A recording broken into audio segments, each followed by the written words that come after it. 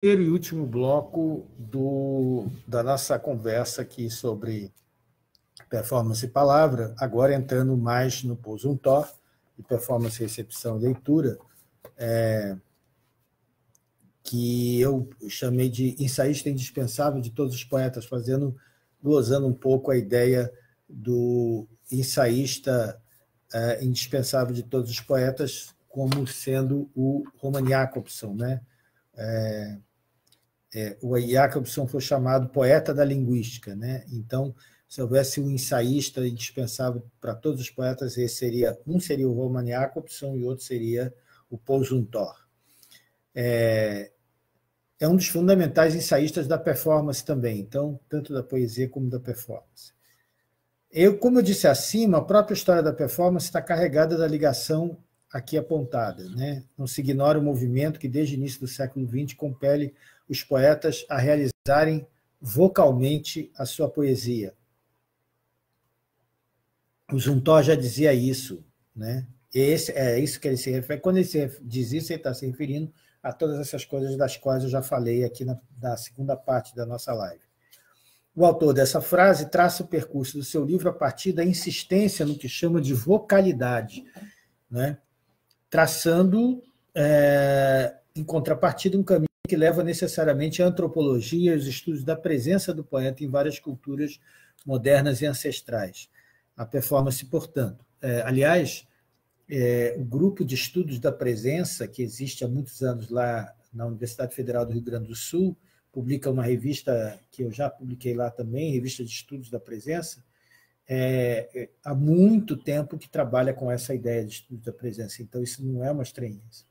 O que Zuntor nos oferece é a possibilidade de pensar a poesia como o texto da performance, para usar essa denominação de teatro ainda hoje, que ainda hoje significa o recurso ao que antigamente se chamava gênero dramático. Né? Se houvesse alguma dramaturgia, em outro ponto do livro eu respondo isso no artigo também que me pediram isso, se houvesse alguma espécie de dramaturgia da performance, essa seria o texto poético, uma dramaturgia poética, podemos dizer assim. É, a instauração produzida pelo poeta quando performa o seu texto é a sua singularidade. Por isso, tratando-se da presença corporal do leitor de literatura, diz o Pousontor, interrogo-me sobre o funcionamento, as modalidades e o efeito em nível individual das transmissões orais da poesia. Considero com efeito a voz, não somente nela mesma, mas ainda, ainda mais, mas ainda mais em sua qualidade de emanação do corpo, sonoramente o representa de forma plena. A plena representação sonora do corpo é a emanação poética, assim, então, segundo o que ele está dizendo aqui. A partir da indagação sobre a recepção e as suas teorias e o estado do corpo que lê a literatura, que ele diz que é um estado é, diverso de outros estados corporais e que existe um estado corporal da leitura, porque a gente às vezes fica achando que a, a pessoa que é que gosta de ler e tal, ela não, não, trabalha o corpo, não sei o quê, só que a gente esquece que a gente é um corpo que lê. Né? Então há um trabalho ali também o ensaísta suíço-canadense acaba por alcançar a iniciação do, do poeta performer, o que o faz lembrar de uma situação vivida em sua infância na qual encontra cantores de rua. Essa é uma linda história que, que ele conta, em que ele vai aos poucos de uma situação que ele costumava vivenciar, ele saía da aula que ele assistia, ele tinha que pegar o trem para ir para casa, na, na Paris do, dos anos talvez final dos anos 20, começo dos anos 30, que é a época que vai começando a surgir o cinema sonoro. Diga-se passagem, o cinema sonoro francês, ele no início não sabia muito como lidar com a música, então precisava ter uma canção que justificasse, que é o negócio da canção francesa. Né? É muito popular isso lá. As pessoas cantavam as canções e distribuíam a canção numa volante, numa folha de papel, e às vezes com a própria, a própria pauta musical. Né? vendia-se a canção. E ele lembra que ele parava e ficava correndo risco de perder o trem, mas ficava encantado assistindo lá o cantor apresentar a canção, os guarda-chuvas abertos no chão, que eles abriam para poder as pessoas jogarem moedas e tal. E aí ele dizia que tinha toda uma ambiência disso e que ele tentou recuperar isso só lendo o, os textos da época, que ele conseguiu guardar umas dessas folhas e tal, mas ele descobriu que não dava, porque todo o ambiente evocado, não somente o que ele cantava, mas as árvores, as pessoas, o vento, a temperatura, mais ou menos tudo isso fazia parte da canção. Era a canção. E aí ele diz: o que eu não tinha percebido, sem ter a possibilidade intelectual de analisar, era, no sentido pleno da palavra, uma forma, não fixa, nem estável, uma forma força, um dinamismo formalizado. É uma forma dinamizada, um dinamismo formalizado, não um esquema que se dobrasse um assunto, porque a forma não é regida pela regra, ela é a regra. Uma regra a todo instante recriada, existindo apenas na paixão do homem, que a todo instante adere a ela no encontro luminoso. É essa regra, essa forma, que é a forma da oralidade, que é a forma da vocalidade, que ele está falando, é a performance vocal. A análise dessa forma, tarefa de uma teoria literária, consegue talvez funcionar como esclarecimento, mas nas palavras do autor, de fato, nega a existência da forma. Essa com efeito só existe na performance. Nesse ponto, Junto aparece a visão reivindicada por um contemporâneo performer mexicano, contemporâneo na época que eu escrevi, infelizmente falecido, Felipe Ehrenberg, segundo o qual devíamos, por razões linguísticas descolonizadoras, fazer uso do termo performance, forma, ao invés de performance. Já o polonês Janusz Widzinski, que eu já falei aqui, que teria seu livro Arte Contextual publicado em 1976 e só recentemente reeditado, sustentava que o termo performance deriva do latim performance, segundo ele, transformação de algo, formação segundo modo diferente. Então, você tem essas duas acepções, né? performance como ação, como o poieio, né? o fazer, e o, a performance como uma espécie de ação específica que é de transformação da forma. O próprio Juntor afirma que a palavra performance não é inocente e há 50 anos se arrasta no uso comum, porque ele vai levantar justamente os usos da palavra performance, vários autores, palavra performance, vários autores, sobretudo na antropologia. Uh, mas a descreve como um empréstimo do vocabulário da dramaturgia indo se espalhar pelos Estados Unidos na pesquisa antropológica, nessa acepção de constitutiva da forma. Nesse sentido, a performance é, para esses etnólogos, uma noção central no estudo da comunicação oral. Isso explica, afinal, que desde o início dos anos 50 a palavra fosse empregada pela linguística, especialmente nos Estados Unidos. A noção apareceu, pareceu indispensável a toda operação pragmática ou generativa. E aqui o termo generativo tem uma razão de ser que eu já vou explicar. As regras é, da performance com efeito regendo simultaneamente o tempo, o lugar, a finalidade da transmissão, a ação do locutor e, em ampla medida, a resposta do público, importam para a comunicação tanto ainda mais do que as regras textuais postas na sequência das frases. Justamente é isso que é, aconteceu, é o que eu vou falar em seguida, por isso eu vou poder pular algumas páginas aqui, aconteceu com a transformação que se deu na linguística a partir do uso da palavra performance na linguística. Por quê? Porque antes é, a linguística era voltada da tradição de Saussure, era voltada para aquilo, para a distinção básica que Saussure estabeleceu entre a langue e a parole. A langue sendo a estrutura material da língua, a estrutura gramatical da língua, perdão, e a parole sendo o modo como cada um desempenha essa estrutura. Entretanto, como é, era um pensador de viés e todas essas é, questões Lang, Parroli, sempre eram entendidas a partir de um referencial mental. Né? Quer dizer, então a língua era algo adquirido, segundo ele, era, a gente não nascia com uma propensão para língua, a gente precisaria estar em contato com a língua para poder falar e escrever, e, é, e esse, essa, essa, esse, esse contato se dava a partir da gramática da língua, das regras de funcionamento da língua, uma forma não dinâmica, portanto, estática mesmo, uma forma fixa, que é passada de geração para geração e que a gente aprende a obedecer. Daí que, para o, para o, para o, para o Saussure, a, a Lang é que era o importante, era a estrutura. Com o desenvolvimento das questões Uh, principalmente das questões da, das ciências cognitivas, começaram a se desenvolver a partir dos anos 50 e tudo, foi havendo uma mudança nesse paradigma que entendia que a gente precisava adquirir uma língua e uh, passa a, então a ser uma a haver uma uma uma transformação que leva a um interesse muito grande no modo como a gente usa a língua. Essa transformação foi é, é, capitaneada principalmente nos anos 50 pela teoria de Noam Chomsky, dos Estados Unidos.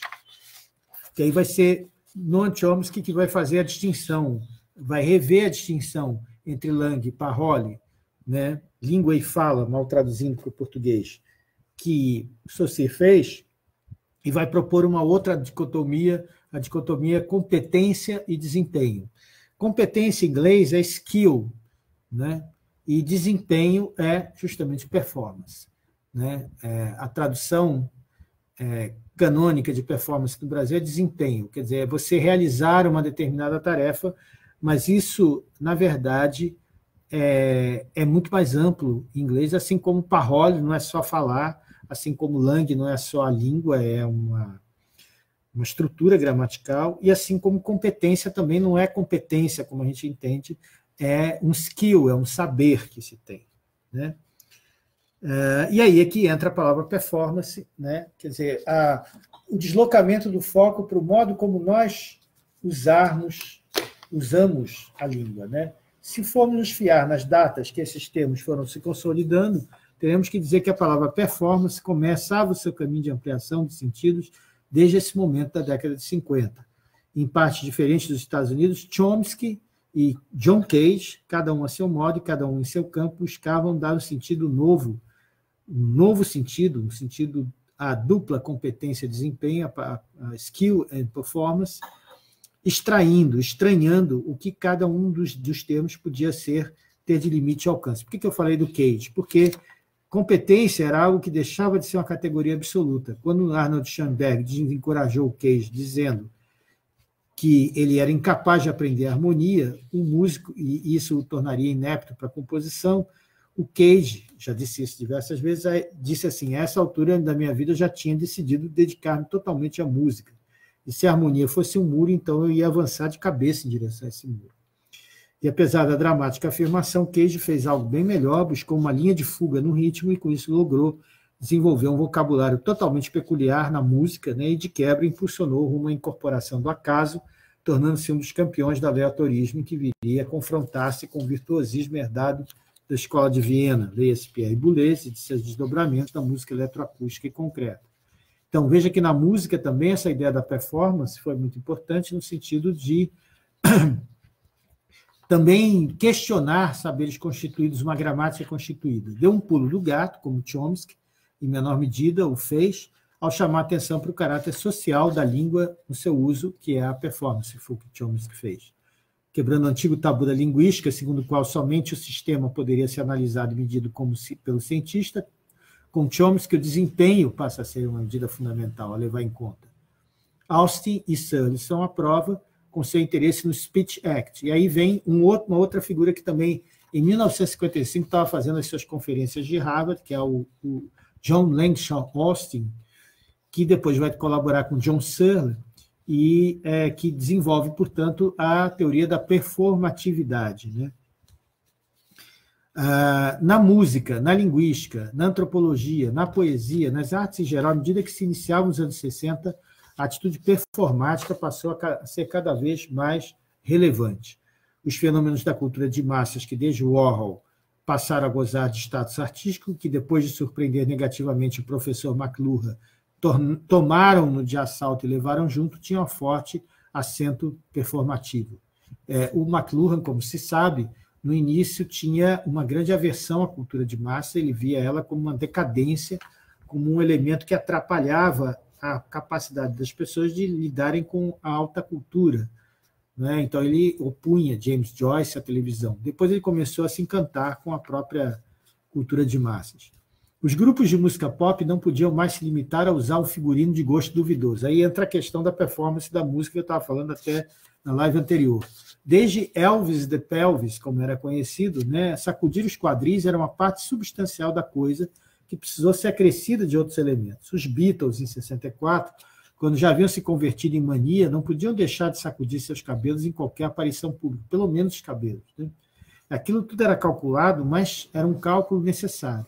Ser moderno, segundo a Jovem Guarda, em 66 e 67, no Rio, São Paulo e Belo Horizonte, era dançar de um certo modo, vestir-se de um certo modo, namorar de um certo modo, usar certo corte de cabelo e falar certas palavras.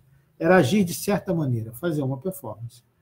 Voltando ao problema da performatividade, também no fundo do debate dos anos 50, as proposições de Alcin passaram por vários estágios, como nos adverte o Marvin Carlson. Carlson diz a ênfase colocada no contexto social mutante da fala, pela teoria dos atos da fala, e a tendência de se aplicar a análise performativa a uma grande gama de fenômenos linguísticos levantou uma forte reação entre teóricos da linguística que preferiam uma abordagem mais formal, estrutural. Aliás, isso tem que ver com a ideia do Alcin, do Como Fazer Coisas com Palavras, que é um famoso livro de 62, já é uma edição póstuma, 61, 62, é, de um interesse que depois isso acabou gerando interesse na tal da escrita performativa. É lá no, no, no, no Como Fazer Coisas com Palavras, que aqui no Brasil teve o estranho nome de Das Palavras Nascem as Coisas, que apareceu essa ideia da performatividade, né? porque os enunciados performativos, lá no início, o Alcin falava performativo, o punha o performativo ou constativo. O enunciado constativo é aquele que diz simplesmente, olha, ali tem um cartaz, tem uma estante, tem uns livros, tem uns, umas coisas ali em cima que parecem uns, uns despertadores e tal. Então você vai descrevendo simplesmente o que você está vendo. O enunciado constativo, não, é apareçam aqui semana que vem, venham uh, ver, me ver no, no, domingo, quando eu faço aniversário, aqui no Facebook, é, fecha aquela porta, eu vos declaro marido e mulher, são os enunciados performativos, são aqueles capazes de fazer uma coisa acontecer. Né? Fazer uma coisa acontecer. E eu vou precisar pegar um pouco de água, viu, gente? Porque eu estou com um ventilador ligado aqui, eu já vou desligar ele, está enchendo o saco e isso está me incomodando a garganta. Eu estou precisando beber uma água. Eu tinha que ter enchido o caneco aqui, mas não enchi. Só um segundinho, já volto. É, só vou pegar uma água.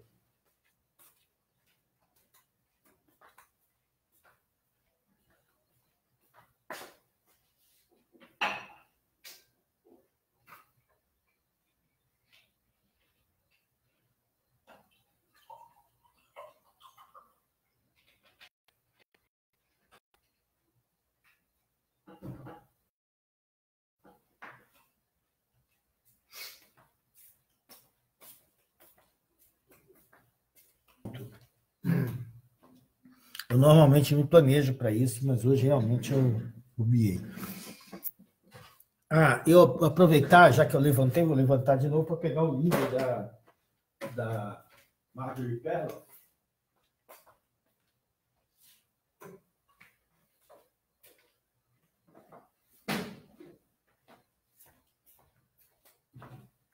Os livros da Marjorie Perloff que eu tenho são esses aqui. Eu tenho uma edição é, do Dança do Intelecto, que é uma edição xerocada. Eu não, tinha, não tive acesso ao livro, então fiz uma xerox aqui, The Dance of Intellect.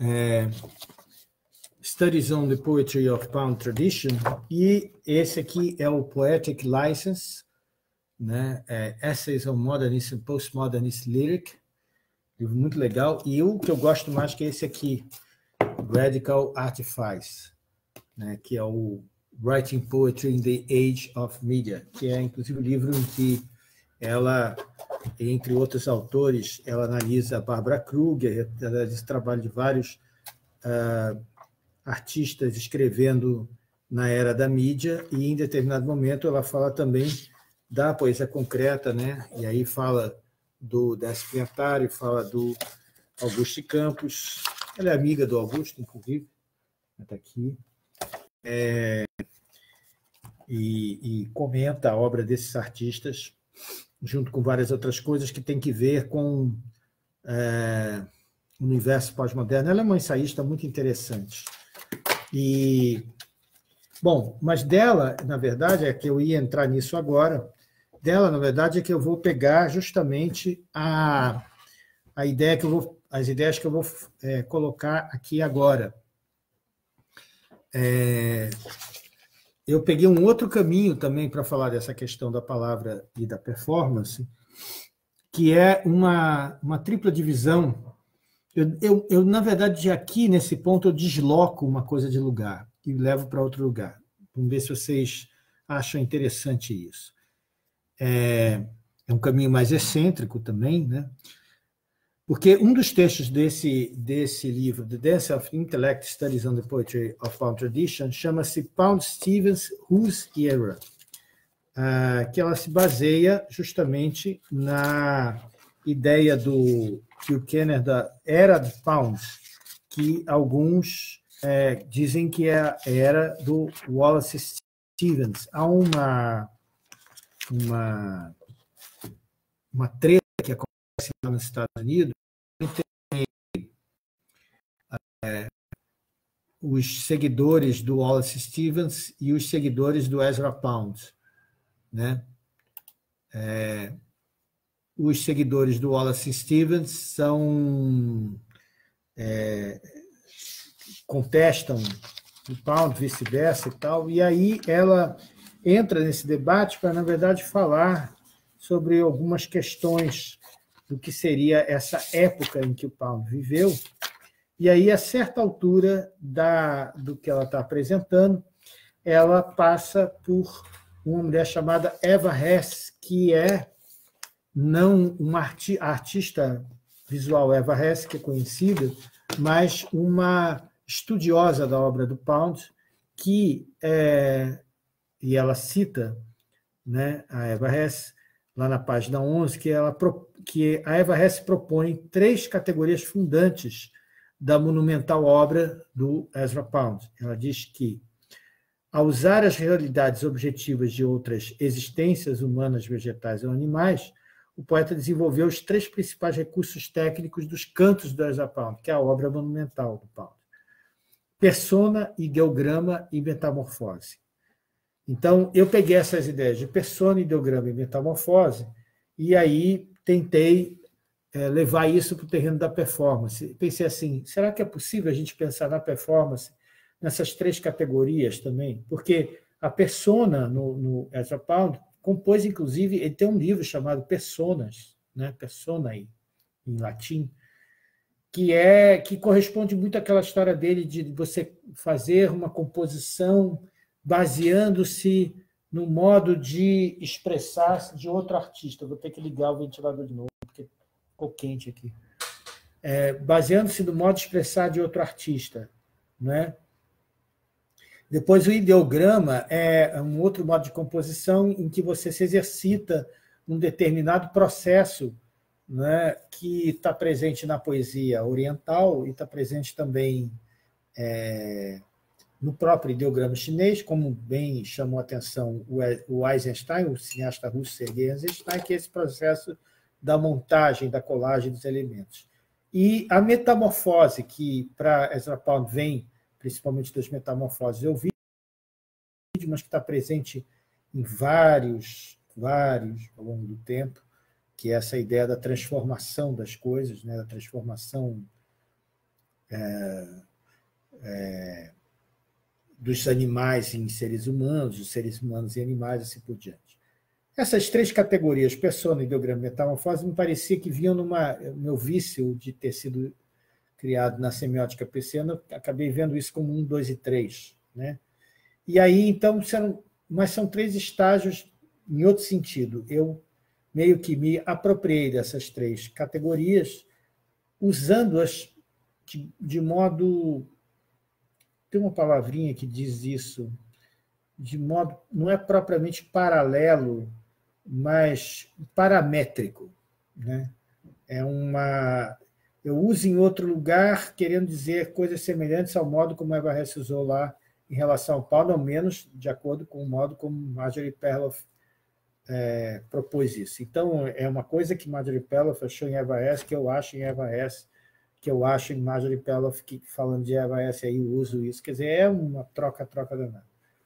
Então, eu diria que a persona é a organização do corpo na cena do performer. Nessa época que eu escrevi isso, eu ainda estava usando muito esse termo, que é muito do Coin, e hoje já não uso muito.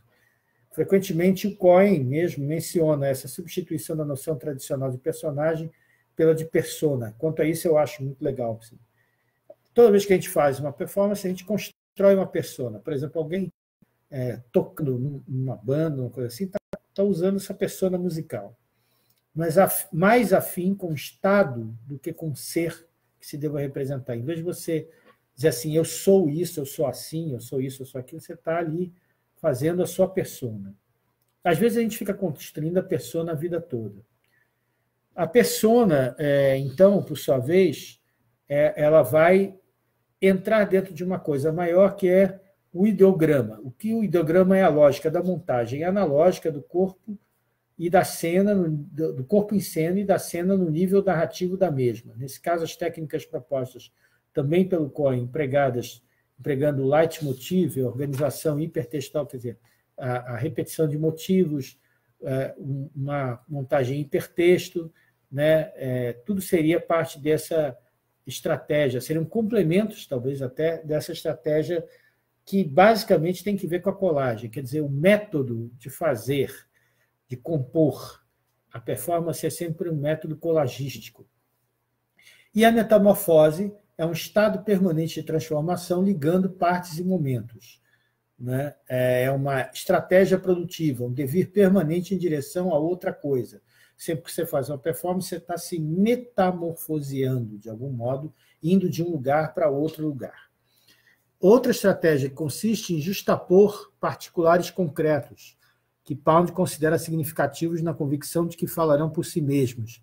O Pound achava que quando você pegava uma coisa daqui, outra dali, outra de lá, se juntasse, a própria junção tornaria isso significativo. Quando ele, por exemplo, pega um trecho de uma fala, de um poema, uma tradução que ele está fazendo de Homero e joga isso dentro de um, uma cena de botequim essa técnica de estranhamento, que tem parentescos com Dada e com surrealismo, reaparece modificada nos cut-ups de William Burroughs, que também era isso, né? É, cortar e colar em praticamente todas as formas de criação contemporâneas. A performance faz uso constante desse processo, por exemplo, Gomes Penha faz isso o tempo todo. Né? O Gomes Penha tem feito textos recentemente em que ele continua usando esse processo de composição de fragmentos né, naturalmente quase sempre com uma difícil aceitação da possibilidade significativa de tais fragmentos isolados. Isoladamente, eles são pouco significativos. Né? Então, por exemplo, sol nas bancas de revista, né? É, depois é, o sol se reparte em crimes, espaçonaves, guerrilhas, quer dizer, são coisas que vêm de lugares completamente diferentes e vão se aglutinando. O Celso Favareto estudou isso como um procedimento de montagem mesmo também que ele associava muito à montagem ideogrâmica lá do Sergei Eisenstein, como dizem os russos. Na realidade, a dificuldade normalmente descrita em relação aos impenetráveis sentidos de uma performance tem muito a ver com esse arranjo em mosaico, que é aquilo que a gente não está acostumado. Quer dizer, a arte ainda, agora mais, eu acho que progressivamente a arte já incorporou essa questão do arranjo mosaico, mas tem gente que ainda tem dificuldade com isso. O uso do conceito de metamorfose, nesse caso, é fundamental, pois aponta para uma mudança radical da forma. A metamorfose, metamorfose, mudança de estado, implica estado de contaminação e tem a ver, portanto, com a disponibilidade de abrir-se às possíveis transformações que o outro me sugere. Esse outro apresenta-se na qualidade de persona, ou seja, circunstância de existência psicologicamente inapreensível, porque não portadora de uma personalidade fixa. Então, esse outro, eu capturo elementos dele e vou metamorfoseando no meu próprio processo.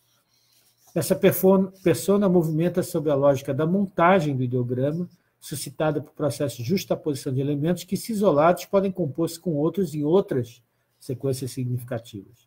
O procedimento do ideograma é da coordenação ou da parataxe, um tipo de sintaxe que opera por paralelismos, não por subordinação. Né? A gente está acostumado a pensar em sintaxe como a sequência da frase, mas, na verdade, é uma, um processo de justaposição. É isso, e isso, e isso, e isso, e é um E, E, E, E contínuo.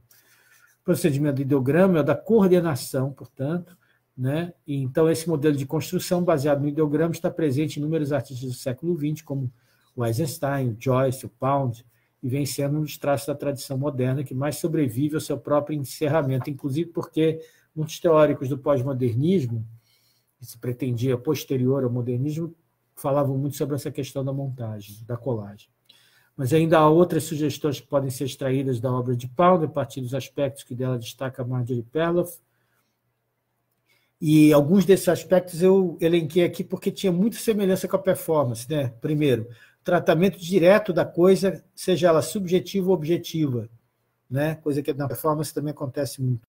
Não usar nenhuma palavra que não contribua diretamente para a apresentação. Isso é uma ética do, do, do Pound que também é, comparece na performance. E no que diz respeito ao ritmo, compor na sequência da frase musical, não na sequência do metrônomo.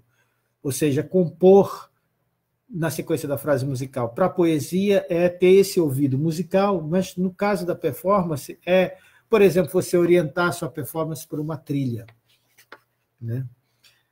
Uh, vou pular um, um, pedaço aqui, porque a gente já está chegando ao final desse bloco também. Vou pular as considerações específicas em relação à a, a, a, questão da poesia. Eu um pouco mais sobre o que processo ideogrâmico. E aí, bom, vários artistas brasileiros desde os anos 60 atentaram para o óbvio fato de que nossas culturas tropicais, sul-americanas, tidas e havidas como de terceiro mundo, herdaram de seus antepassados um singular interesse pelo corpo que as convertia em naturais vias de consequência para o seu verdadeiro, para esse seu verdadeiro boom, junto com a performatividade do, do planeta inteiro. Elliot Sica que entendeu por que Mick Jagger gostava dos bluesmen norte-americanos e com isso achava um nexo europeu com a cultura africana, que ultrapassava o exotismo modernista, olhou para a escola de samba, isso é uma coisa que pouca gente sabe. Né? Esse exotismo modernista que a cultura europeia tinha em relação à arte africana, muito a partir do rock and roll. Isso é uma observação que Elliot Sica fala, faz. Olha que interessante. Acho que é num texto que ele chama, que ele diz o que faço é música. Eu acho que é isso. Ele chama atenção para o fato de que o encanto de Mick Jagger, de toda a geração deles, pelo blues é, americano, era um encanto que não era compartilhado pelos próprios americanos e nem pelos jovens americanos que viviam sob apartheid do regime racista é, estadunidense. Não tinha, não tinha chance né, o compositor negro. E o Mick Jagger e todos os outros é, adoradores dos blues americanos, que foram os caras que fizeram rock na Inglaterra, gostavam dos bluesmen americanos. E isso renovava esse nexo europeu com a cultura africana. Inovação essa também que se aconteceu, aconteceu caminhos, por exemplo, com a imigração jamaicana em Londres e tudo mais. Enquanto Jackson Pollock agonizava do mal de mídia que a revista Life lhe inoculou, tornando-se pintor americano mais popular da história, e Yves Klein, na Europa, incendiava a cabeça de Pierre Restany e punha os corpos a rolar na tinta ou saltava no vazio, enquanto seu colega do neorrealismo, construção de críticos, né, que é o neorrealismo, construção do Pierre Restany, Piero Manzoni enlatava sua merda, tudo que era corpo passava evidência. Julio Leparc, na América do Sul, projetava um piso instável para os pés que não queriam mais o equilíbrio. Cuba se emancipava pioneiramente de uma ditadura, dando esperança a toda a Latinoamérica de se livrar do estigma norte-americano que a condenava. Sempre a continente de República de Bananas.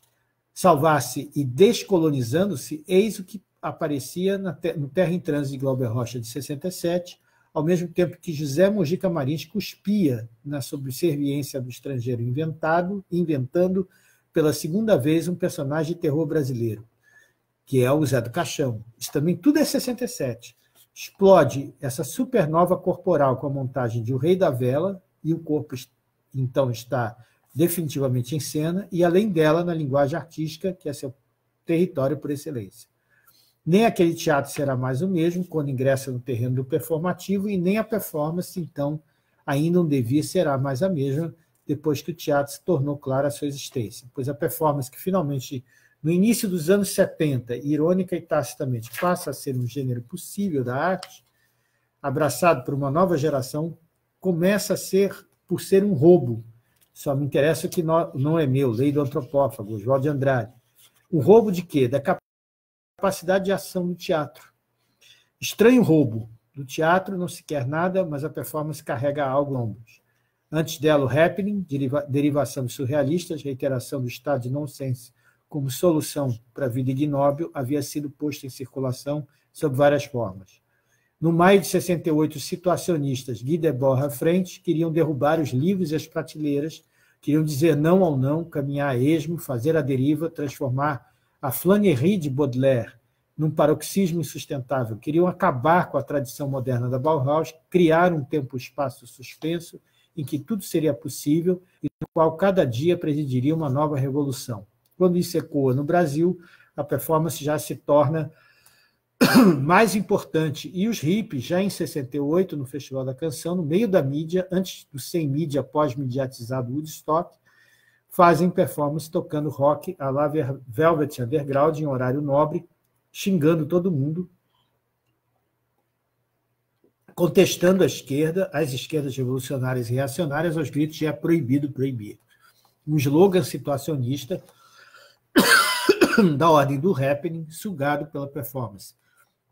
Todo mundo sabe hoje em dia que é proibido proibir era uma frase que era que il est interdit d'interdire, que era escrita nos muros em 68 em Paris e que é, Caetano Veloso viu aqui no Brasil e resolveu usar. Não deveria surpreender isso, porque o Brasil já assistira nos anos 30 Flávio de Carvalho e suas experiências, registrando por escrito a ação de caminhar contra a procissão de chapéu na cabeça, mexendo no vespeiro da religiosidade oficial popular. E depois, nos anos 50, desafiando a oficialidade de gênero traduzida na roupa que os homens poderiam ou não poderiam usar. Flávio corresponde, no ambiente da cultura reconhecida, aquilo que se passa em todas as esferas da vida desde os tempos da colônia aqui em toda a América do Sul, na Ásia e na África, pois o subproduto de toda a dominação europeia foi a emergência do fundo da violenta opressão de atitudes consentidas ou não, estigmatizadas muitas vezes como loucura, contestadoras, que atestavam os possíveis outros modos de vida passíveis de sobreviver àquele estado de coisas. Esses modos de vida são performáticos, porque a performance, mesmo antropologicamente falando, estava na vida de cada um dos povos anteriores à colonização. Estava em uma dimensão que não se separava da ciência e da arte, sem falar que essas formas não se distinguiam do mesmo modo que o fazemos. O que Flávio, Hélio, Caetano, João, Graciliano, Oswaldo, Nelson, Mário, Manuel, Carlos, Clarice, Gilca, Pedro, Joaquim, Patrícia, Tarsila, Anitta, Monteiro e tantos outros tomaram, tornaram evidente, por meio mais ou menos próximos da própria ação, em todas e cada uma de suas épocas, é que essa presença do corpo era um fato da cultura de nosso país, como Oliveiros e Vicentes, né? aqui eu estou me referindo a Olivério Rirondo e Vicente Ruidobo, Dulce, Joaquins, Severos e José tinham feito propósito de México, Venezuela, Colômbia, Panamá, Peru, Bolívia, Argentina, Uruguai, Paraguai e Cuba. A cultura cristã católica, ao contrário da puritana, não logrou disciplinar a eclosão de manifestações corporais de natureza tão diversa que torna a performance vista no contexto latino uma obviedade explosiva. É por isso que eu julgo legítimo que tomemos essa palavra como nossa, como fez Guilherme Gomes Penha, que escreveu o seu texto com título em castelhano, In Defensa del Performance Art, mas que reproduziu em inglês no seu livro Etnotécnico, publicado pela Routledge, com o título In Defense of Performance.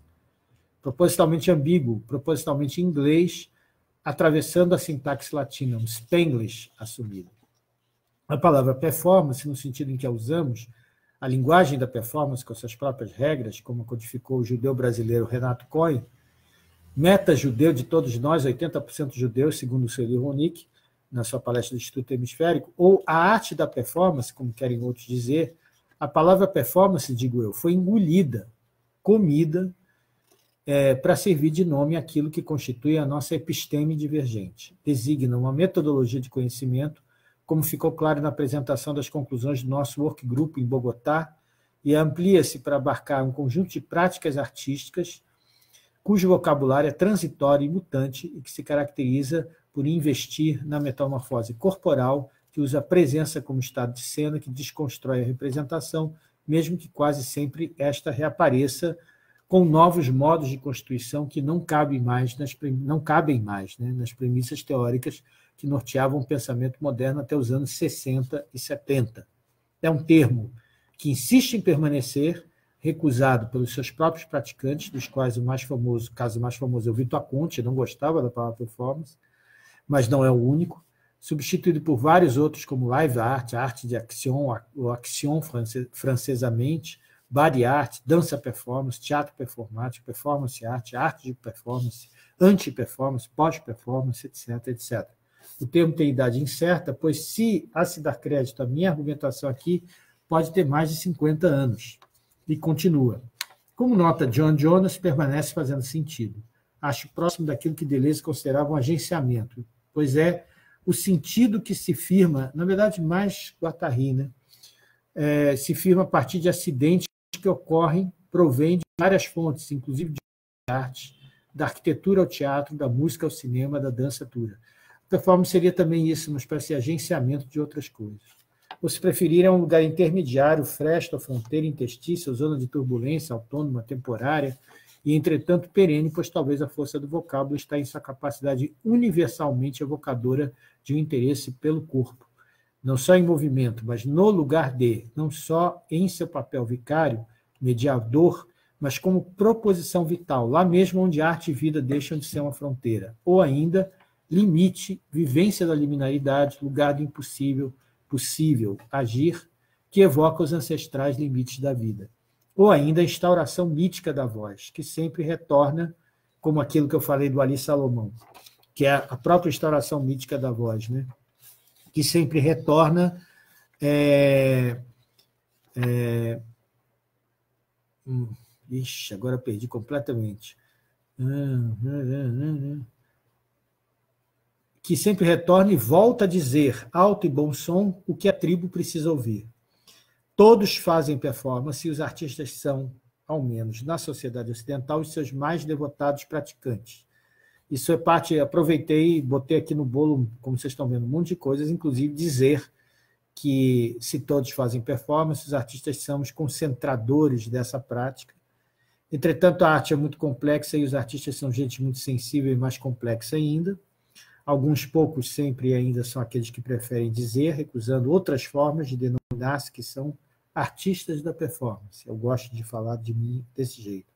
Que o que fazem é performance, seja porque, como disse Gomes Penha, cruzam a fronteira sem documentos só para dar um ponto de vista, ou são roqueiros frustrados. Tudo bem, roqueiros podem ser performeiros frustrados. O fato é que tem gente hoje, muita gente, cada vez mais, que prefere ser chamado de performer. Enquanto essa palavra funcionar como rota de fuga para as complexidades voluntárias ou involuntariamente limitadoras das outras linguagens e formas artísticas, a performance pode continuar sendo, e minha crença que será, o território livre da criação do pensamento da vida que vale a pena ser vivida no século XXI. Vocês vejam que no final do texto eu resolvo entrar numa leitura poética da performance. Né? Quer dizer, eu pego essa, essa discussão toda sobre a voz e aí entro num embalo ali que me fez, inclusive, aqui ultrapassar o horário. Gente, 7h23. Hoje, hoje eu exagerei, concordo mas é que comecei tarde também. Agradeço muito a todos vocês por estarem aqui. Lembro mais uma vez, já lembrei aos outros que estavam na outra live, lembrando de novo aqui que no domingo eu vou fazer canal aberto, ainda no seu horário, vou anunciar isso aqui no Facebook. No domingo eu faço aniversário, dia 3 de maio, eu comemoro meus 60 anos, e aí eu vou fazer um canal aberto no Instagram e no Facebook para as pessoas aparecerem, darem um alô é, vão me encontrar no estado assim um pouco mais catapíncaro e irrisório, mas enfim, é, estarei lá. E depois, na quarta-feira da semana que vem, lembro mais uma vez, quarta-feira da semana que vem, estarei, estarei aqui fazendo, deixa eu falar assim, farei uma live é, sobre artes ao vivo, mas só que dedicada à questão da educação à distância, assim chamada suposta educação à distância. Vamos questionar isso nessa live. Então, é, temos encontros extraordinários domingo e quarta-feira da semana que vem, ok? Obrigado a todos, boa noite e agradeço a paciência e o acompanhamento de vocês. Beijo do gordo, tchau.